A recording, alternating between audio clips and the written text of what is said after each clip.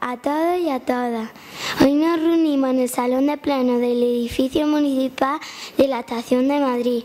Los señores y las señoras, concejales y concejalas del Ayuntamiento de Linares pertenecientes a los partidos políticos. Primero, SAFA, Pizza, Partido Infantil Democrático de Safa. Segundo, Salesiano, PPI, Partido por la Igualdad. Tercero, Los Arrayanes, PAV, Patrulla Antiviolencia. Cuarto, Inmaculada Conciencia, IPJ, Igualdad y Progreso Josefino. Quinto, San Joaquín, PCSJ, partido del Colegio San Joaquín. 6. La representación en DESG, partido en contra de la, de la desigualdad de género, para resolver el asunto incluido en el orden del día. Orden del día. Primer punto del orden del día. Acta de las sesiones anteriores celebra el día 14 de, noviembre de 2013. Secretaria, proceda a la lectura del acta anterior. En el pleno celebrado el 14 de noviembre de 2013 quedó aprobada la celebración de este pleno, en el que los niños y las niñas de los colegios de Linares presentaremos propuestas y mociones para la eliminación de la violencia hacia las mujeres las niñas y niños de Linares queremos decir no a que las mujeres sean maltratadas por hombres que no las quieren. En el pleno del día 25 de noviembre, todos y todas juntas reivindicaremos una sociedad más justa.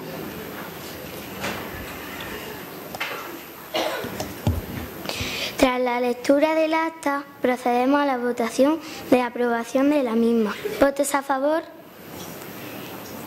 Se aprueba por unanimidad. Segundo punto del orden del día. Moción del grupo de concejales y concejalas del Partido Infantil Democrático de Safa, Colegio Safa.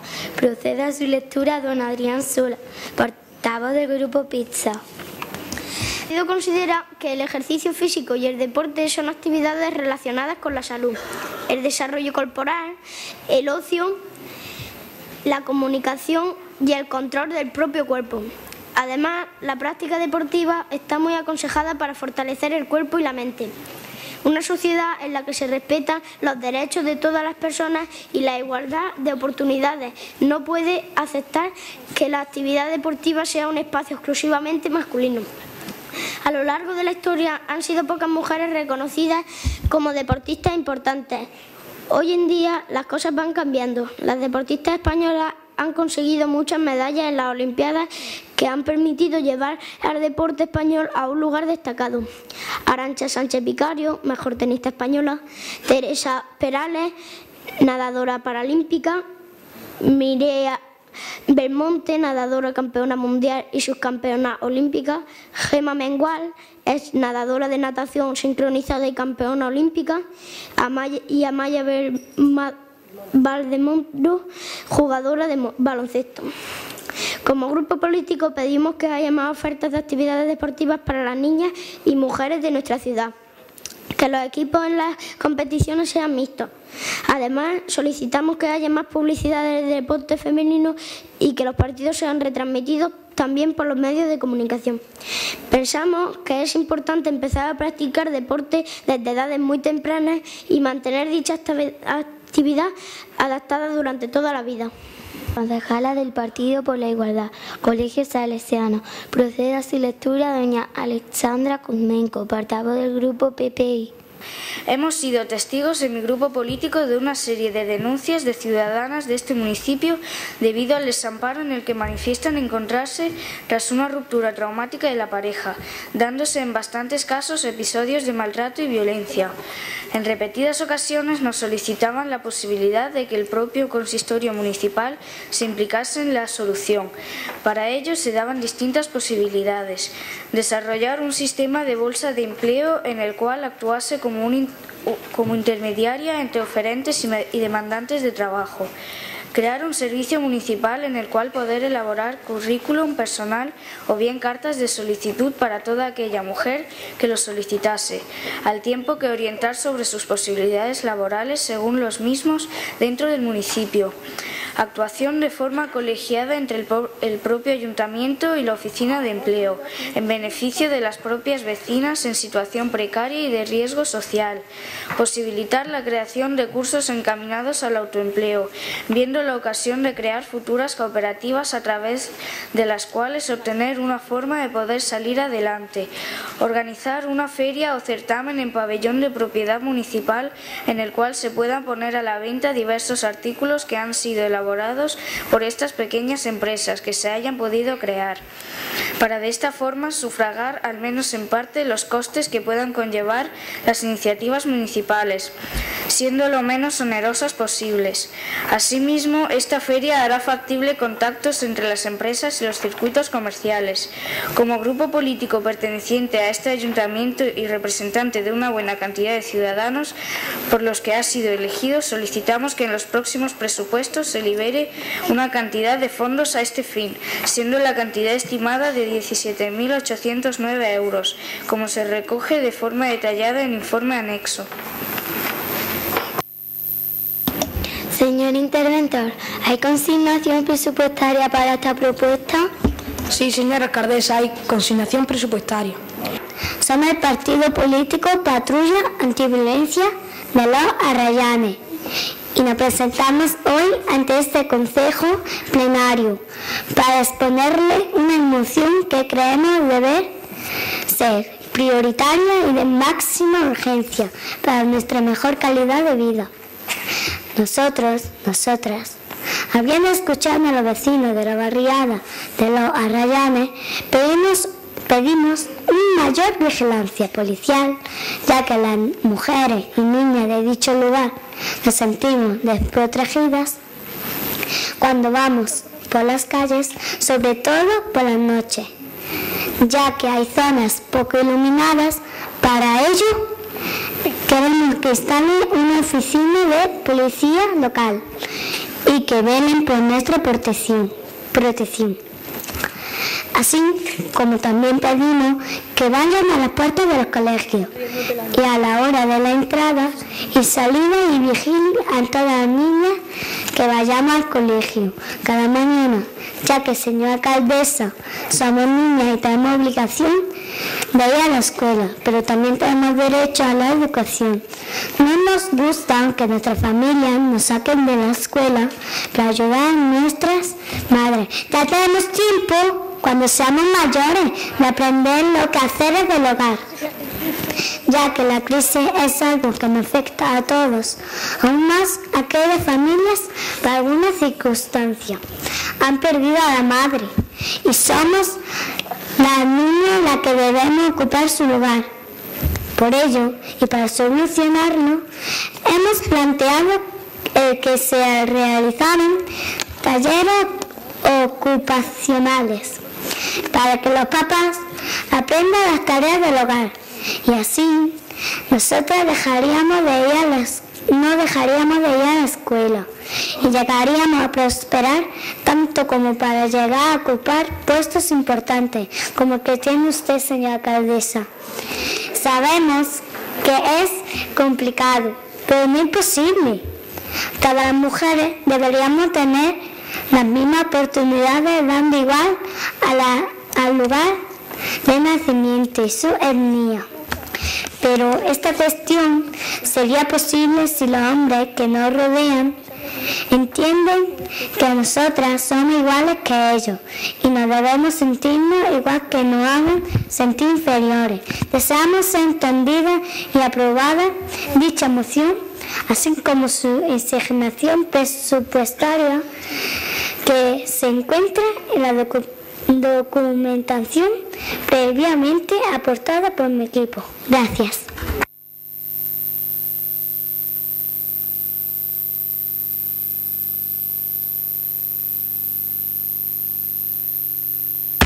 Señor interventor, ¿hay consignación presupuestaria para esta propuesta? Sí, señora alcaldesa, hay consignación presupuestaria. Bueno, procedemos a la votación. ¿Votos a favor? Se aprueba por unanimidad.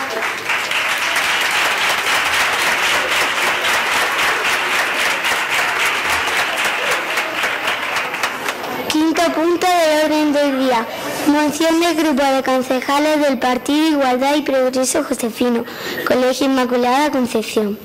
Procede a su lectura doña Eva Valcárcel López, portavoz del Partido Igualdad y Progreso Josefino, IPJ. Nuestro partido IPJ, Igualdad y Progreso Josefino, ha recibido multitud de solicitudes en las que se nos, se nos demanda la realización de unos talleres destinados a hombres y, y mujeres, en los que se impartan clases prácticas de actividades domésticas como planchar, cocinar, lavar la ropa, el cuidado de los niños y también de bricolaje tales como cambiar una bombilla, arreglar un enchufe, un grifo, etc. Ante la necesidad de conseguir la igualdad entre hombres y mujeres, nuestro grupo solicita que en los próximos presupuestos se incluya una partida de gastos destinados a la realización de los mencionados talleres y que sean difundidos en los distintos medios de comunicación con el fin de que puedan asistir a ellos el mayor número posible de ciudadanos y ciudadanas. Pensamos que si todos compartimos tareas, lograremos una sociedad mejor, en la que no tenga cabida la discriminación ni la desigualdad. El presupuesto asignado para la realización de los talleres entendemos que es asumible por esta corporación, ya que se puede contar con la colaboración del voluntariado, por lo que rogamos que se tenga en cuenta nuestra propuesta. Muchas gracias. Señor interventor, ¿hay consignación presupuestaria para esta propuesta? Sí, señor alcaldesa, hay consignación presupuestaria. Procedemos a la votación. ¿Votos a favor? Se aprueba por unanimidad.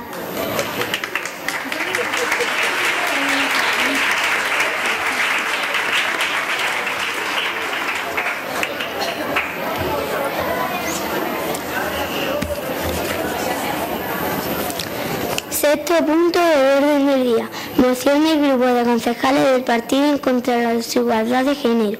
Colegio la presentación. Procede su lectura doña Carmen Hernández Galera, portavoz del grupo DSG. Todos y todas estamos luchando contra la violencia de género. La violencia no solo ocurre en la calle, sino que a veces sucede muy cerca de nosotros. Podría estar pasándole a algunos de nuestros vecinos y vecinas. Nosotros no hemos dado cuenta que hay demasiados lugares deshabitados o viviendo en ruinas. También nos han contado que muchas mujeres tienen miedo a decir lo que les está pasando en sus propias casas. Proponemos la siguiente solución. Por un lado, todas las casas deshabitadas o en ruinas deberían tirarse del todo o por lo menos poner unas cámaras de vigilancia en esos lugares para que los violadores no tengan un sitio donde cometer sus agresiones con facilidad. Y por otro lado, creemos que sería muy interesante que se formara un grupo de voluntarios que se dedicaran a pasearse y estar en los sitios donde normalmente van las mujeres, como supermercados, tiendas de ropa, parques, etc., para que ellas pudieran contarles su miedo y pedirles soluciones. Estos voluntarios irían con algún símbolo en la ropa, que se supiera que son los que pueden ayudarnos, sin que sospecharan, sin los agresores.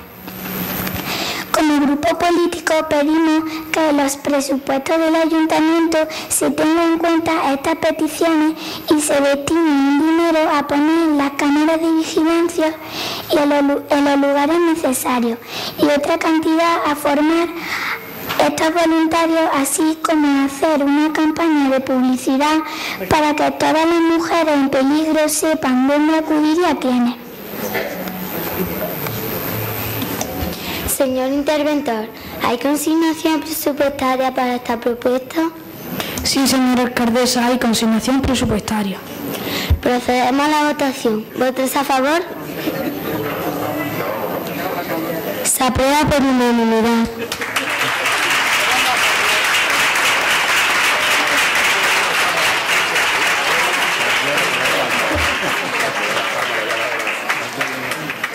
Noveno punto del orden del día.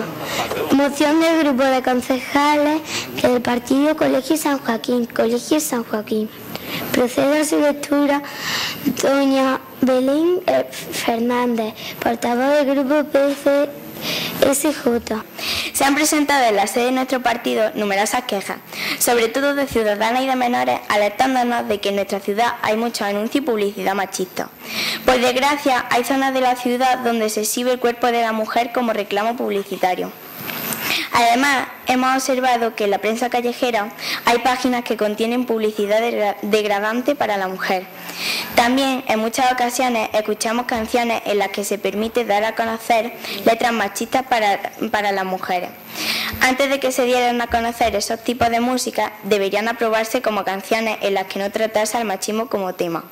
Como una acción, deberíamos poner un, equipo que supervise la letra o el contenido de la canción, antes de mostrársela a los ciudadanos, poniendo un poquito de atención hacia las mujeres o los sentimientos de las mismas. En la mayoría de ocasiones se las insulta o ponen en duda sus principios. Como grupo político elegido democráticamente en las últimas elecciones municipales, pedimos la creación de un grupo de trabajo destinado a la eliminación de publicidad machista, anuncios en los que desaparezca la exhibición del cuerpo de la mujer y música en la que dejen mal a la mujer. Y si fuera necesario, se destine una parte del presupuesto, a pesar de las dificultades económicas que estamos pasando, para este proyecto. Señor interventor, ¿hay consignación presupuestaria para esta propuesta? Sí, señora alcaldesa, hay consignación presupuestaria. Procedamos a la votación. ¿Votos a favor? Se aprueba por unanimidad.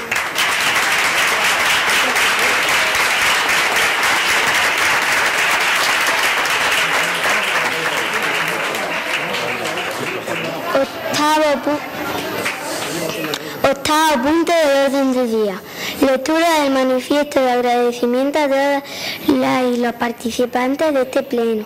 Señora secretaria, proceda a su lectura del manifiesto. Desde el Ayuntamiento de Linares queremos agradecer la participación de los niños y niñas de los colegios linarenses que han colaborado en esta actividad. Habéis sido protagonistas de una actividad que conmemora el Día Internacional contra la Violencia hacia las Mujeres y a las Niñas el día 25 de noviembre. Son muchas las mujeres que sufren esta violencia diariamente en todo el mundo. También son muchos los niños y las niñas que son víctimas directas del maltrato, presenciando y sufriendo la violencia dirigida a sus madres y a ellos o a ellas mismas.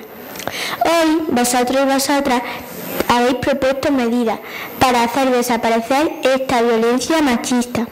Además, habéis conocido en primera persona cómo las personas mayores toman decisiones para mejorar el bienestar de la ciudadanía de nuestra localidad en este salón de pleno del Ayuntamiento de Linares.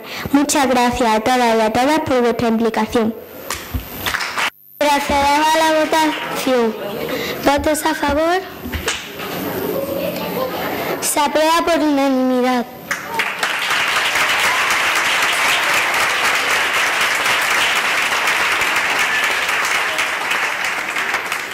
Noveno punto del orden del día. Ruegos y preguntas.